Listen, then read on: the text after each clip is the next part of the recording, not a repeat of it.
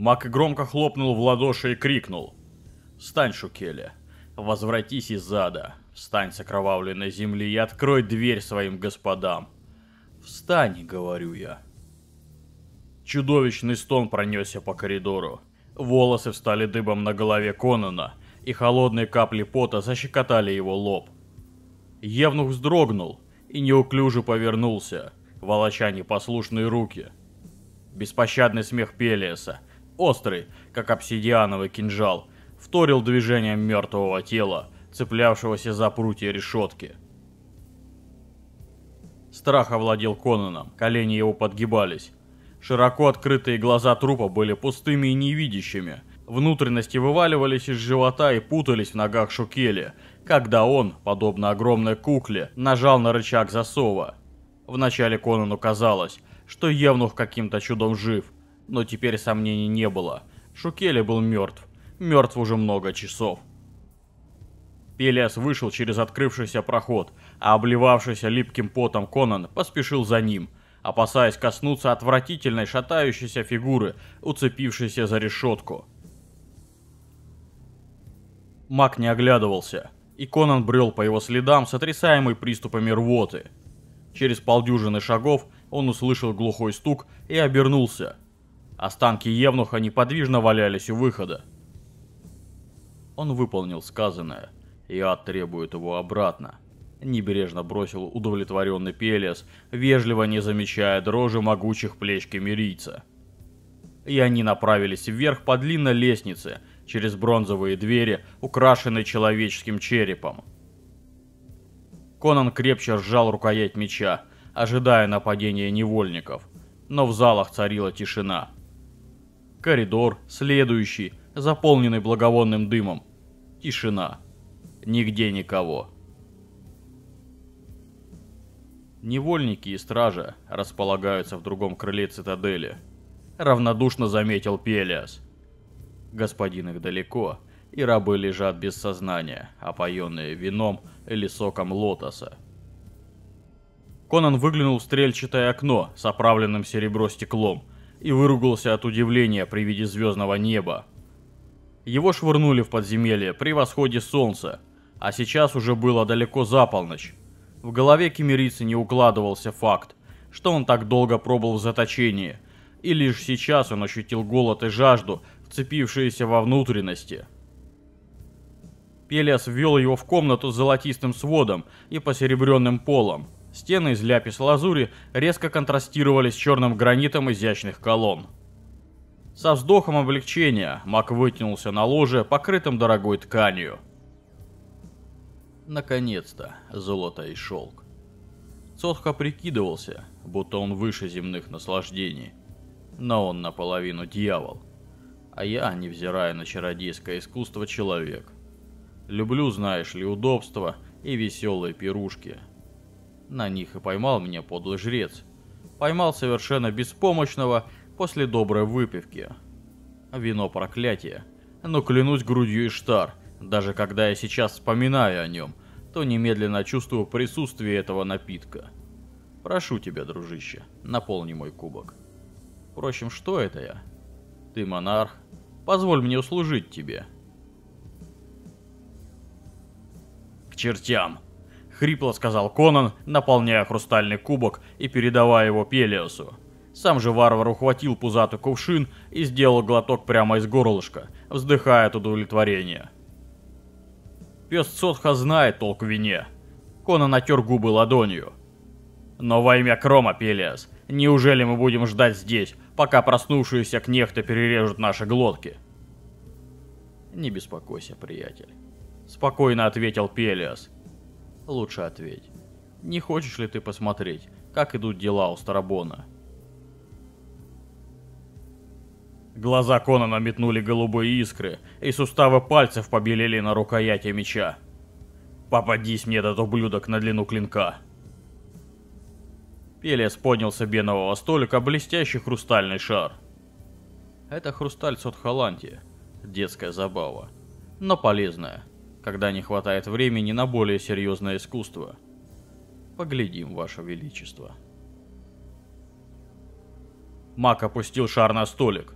Король посмотрел на матовую поверхность, и внезапно внутреннее пространство просветлело, расширилось, и изображение приобрело яркость и четкость. Конан узнал знакомый пейзаж. Равнина плавно опускалась к широкой реке, за которым высилась горная гряда. На северном берегу реки стоял город, окруженный стенами и рвом, обоими концами упиравшимися в реку. «Во имя Крома! Это же Шамар! Псы Страбона осаждают его!» Захватчики перешли реку. Шатры их стояли на узкой полосе ровного пространства между взгорьем и городом. Воины толпились под стенами, оружие их блестело в слабом лунном свете. Со стены башен летел град стрел и камней. Нападающие дрогнули, откатились и вновь возобновили штурм. Конан открыл было рот, чтобы выругаться, но в шаре уже возникло иное изображение. В тумане появились стрельчатые крыши дворцов и сверкающие купола храмов. Король видел Тарантию, свою столицу. Город был охвачен растерянностью и паникой. Он видел рыцарей из Пуатена, преданнейших соратников, облеченных доверием и поставленных на охрану города. Они выезжали из ворот под рычание и свист разъяренной толпы. Король видел скопище мародеров, чужие панцири воинов с пелийскими инсигниями, и те же знаки красовались на башнях и площадях. А над всем происходящим стояла смуглая, искривленная победной гримасой лицо принца Арпела Пелийского – Изображение потемнело и исчезло. Проклятие! Бесновался Конун. Стоило потерпеть одну неудачу, как весь мой народ отвернулся от меня. Это не так, прервал его Пелиас. Твоим подданным объявили о смерти их короля, и они решили, что никто не защитит их теперь от внешнего врага и гражданской войны. Вполне естественно в таком случае признать власть сильнейшего вельможи, во избежание ужасов борьбы за трон. Пометуя былое, они не верят пуатенцам, а под рукой оказался Арпелло, могущественный принц центральных провинций. Когда я вернусь в Аквилонию, его обезглавленный труп сгниет на помойке у башни предателей. Увы, Страбан достигнет столицы ранее тебя. Хладнокровно прервал его Пелиас. А армия ковцев разграбит твое королевство. Ты прав. Конан взбешенным тигром заметался по комнате. Даже на лучшем коне я не достигну Шамара к полудню. Но даже и успев, я смогу лишь погибнуть при падении города.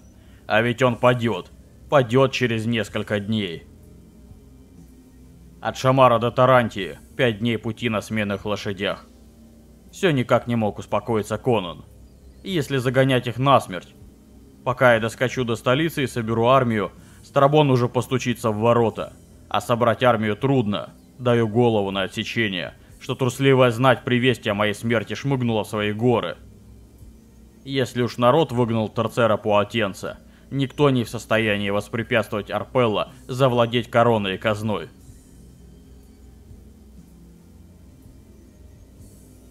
В обмен на марионеточный трон, Арпела согласится стать вассалом Старабона, но в нужный момент поднимет мятеж.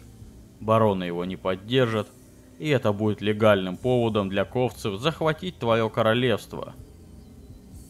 О, кромы мир и сет! Если бы у меня были крылья, чтобы долететь до Тарантии. Сидящий за столом маг выстукивал на яшмовой поверхности некий причудливый ритм – и, казалось, не слышал слов Конана, погруженный в свои мысли. Вдруг яшмовый барабан умолк, и маг вскочил, ведомый внезапным импульсом, и жестом приказал Конану следовать за ним. В полном молчании взошли они по мраморной лестнице на верхнюю площадку самой высокой башни цитадели. Стояла ночь. Сильный ветер развивал черные волосы Конана. Далеко внизу мерцали огни Кархимиша, более чужие, чем звезды над головами. Пелиас выглядел одержимым. Внезапно он заговорил странным, изменившимся голосом. Есть существа, живущие не только на земле, в воде и воздухе. но и в небесах, неизвестные людям, рассеянные на неизмеримых пространствах, но для владеющего знаками и словами, лежащими в основе, они доступны и не опасны. Смотри и не пугайся. С этими словами он воздел руки к небу и издал протяжный крик, распространившийся в пространстве, вибрирующий и не затихавший. Он несся все дальше, казалось, достигая миров, неизвестных смертным. В наступившей тишине Конан услышал шум крыльев, доносившийся со стороны звезд, и вздрогнул, когда из мрака возникло черное, похожее на нетопыря создание, и село его плеча на зубец стены. Оправившись от потрясения, Конан присмотрелся и увидел большие, нежные глаза, мерцавшие в звездном свете, могучие крылья с размахом не менее 40 футов. Также увидел он, что существо это не было ни птицей, ни летучей мышью. Пелиас прервал молчание. «Садись и лети. Будешь в Тарантии перед рассветом». «Клянусь кромом, а ты? Не могу же я бросить тебя одного среди врагов!» «Не беспокойся обо мне», — усмехнулся маг. Нынешним утром Люд Кархимиша узнает, что имеет нового господина.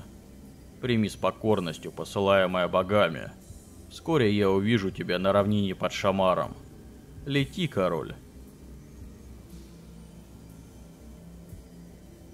Конан осторожно взобрался на роговевшую спину и ухватился за изогнутую шею летающего незнакомца. Происходящее казалось неимоверным сном, и король с трудом сдерживал желание проснуться. Раздался шелест огромных крыльев, и существо взмыло в воздух. Король глянул вниз я ощутил головокружение. Далеко-далеко внизу блестели маленькие искорки. Огни королевской столицы Кархимиша.